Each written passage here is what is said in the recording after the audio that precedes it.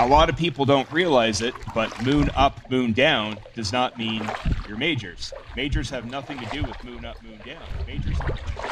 This year has been tough. It's August 13th, and I have yet to catch a muskie.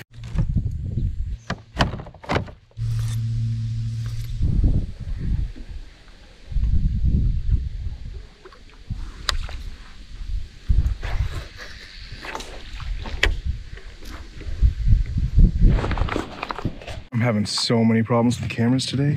This is horrible. Anyway, I got to my spot. I think I'm approaching a major. I'm trying something new that I heard from Pete Bostlemann. So we'll give it a try.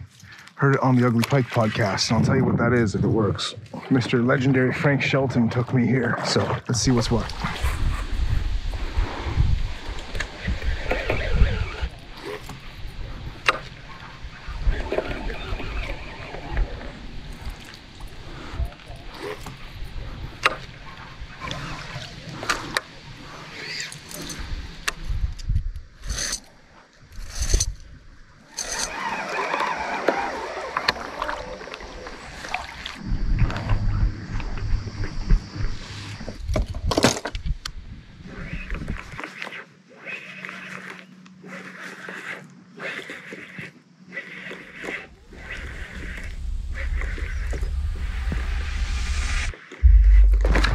Yes.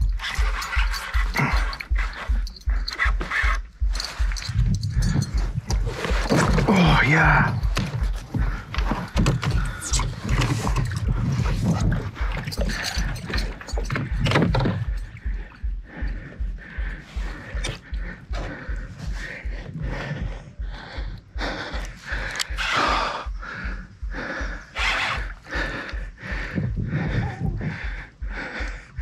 Oh, it's a nice one.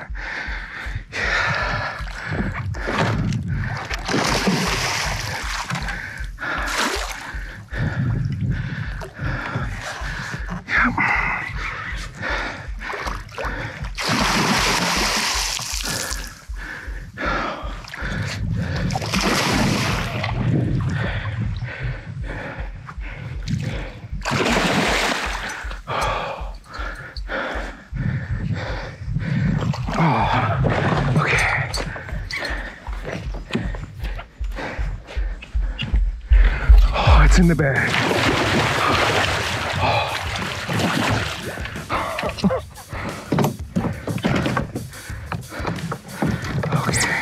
I did it.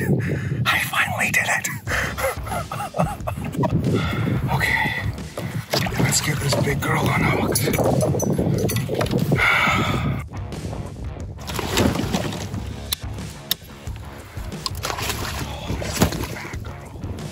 I'm gonna do this quick. Get up for a picture, get back in the water. Oh, it's heavy. It is heavy. Oh, what a pig. What an absolute pig. Let go of the net.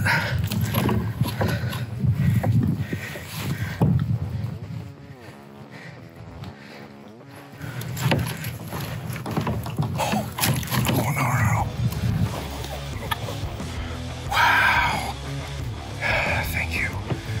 Thank you. For coming to play. Now let's get you released. Are you just gonna take off? I don't need a measurement on that fish. That was beautiful. And I worked hard for that. I wish you could hear my heart pump. I am so slimed. Got musky poop on me. First time wearing this shirt. Maybe it's a lucky shirt. We'll find out. Absolutely slimed. Ah, let's see if I can get this back, this bait back in commission.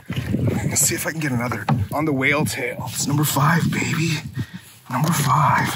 Well, what number hook do I need here? I think number three. I was listening to Pete Bostlemann on the Ugly Pike podcast, and he had a really cool and interesting suggestion. And I think I'm going to follow that from now on. In case you're not up to speed, many muskie anglers claim that most, if not all, of their biggest catches come during certain times of the day that are dictated by the moon. These are called majors and minors. I know this may sound crazy, but way too many anglers make this claim for there to be no truth behind it. Many muskie anglers make this decision on what the major is depending on what the position of the moon in the sky is, when it's directly above you or directly below you. But Pete's saying that there may be a common misconception here. I noticed many, many years ago that I was catching my biggest fish and having my biggest moments about an hour, hour and a half before everybody else showed up to fish the major.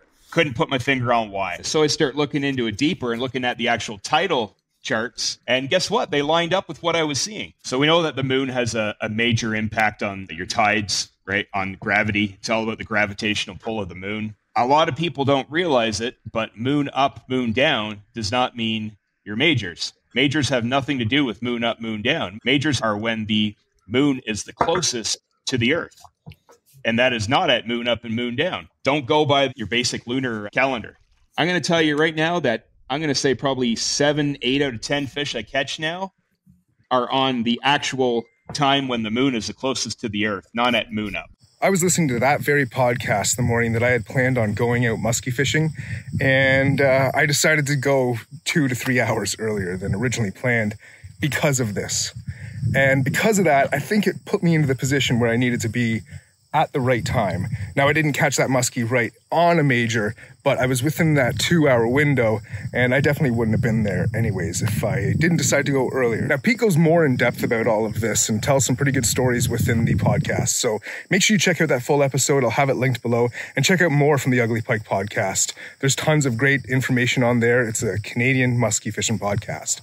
Highly recommend it. I'll also include a link to a solar lunar calendar that I've been referencing, but I actually bought this cheap Casio watch that will tell me what the tides are for that day. So that's uh, kind of handy. I caught that beautiful muskie on the whale tail. The muskie had a whale's belly, just doing a slow kind of pulse stop, pulse pause, full pause. Anyways, there we go. First muskie of the season finally paid off.